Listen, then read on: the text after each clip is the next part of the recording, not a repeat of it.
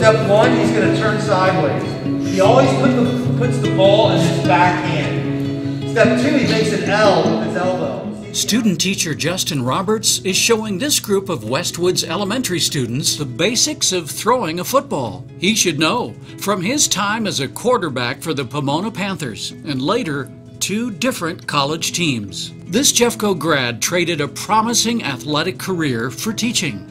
And Justin, who goes by Jay, owes that decision in part to this man, Westwoods elementary PE teacher Mike Paris. Paris taught Jay when, back in the day, he was a Westwoods kid.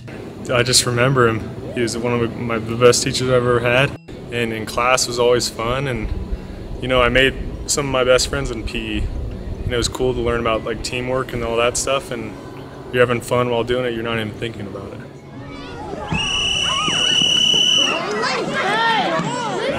The other influence, Jay's dad, who is also a Jeffco PE teacher. I know for kids, these elementary years are the time where they will decide if they like physical activity or stuff like that. So we want to try and make it fun for them. I think, you know, if I can help some kid learn about physical activity and be physically active for the rest of his life, then that's a win for me. Mr. Roberts is my third student teacher, um, but he's the first student teacher that he was my former student. Watch what I'm going to do. I'm going to jump. I'm going to hold it with two hands in front of me. I'm going to jump into it. Teaching kindies the basics of hula hooping is all part of a fun day's work for Jay and his mentor.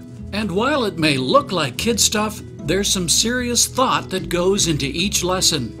I hope to show them my curriculum PE, but the main thing is how to treat the kids, how to treat everyone with respect. And even with the all the strangeness of COVID, I want to make it fun for the kids so they enjoy physical activity. And we're just going to have to adapt on the go. I'm just trying to, you know, see what he has to offer me and see if I can bring that into my teaching. And then, so I'm doing schoolwork right now, just designing curriculums, lesson plans, all that sort of thing. You know, kind of working with Mr. Paris just so we can get the best of both worlds and I can be best teacher I can. After he finishes at Westwoods, it's on to Chatfield High for the next phase of his student teaching. Then eventually, hopefully, a permanent job in Jeffco. And he's just jumping in. Like yesterday, day two, I didn't expect anything, and he's already instructing kids. Today, he took he pulled a kid out that couldn't jump rope, and he did a one-on-one session. And by the end of class, he was jump roping. So he's going to be great at it. That's going to be awesome. Keep following the line, guys.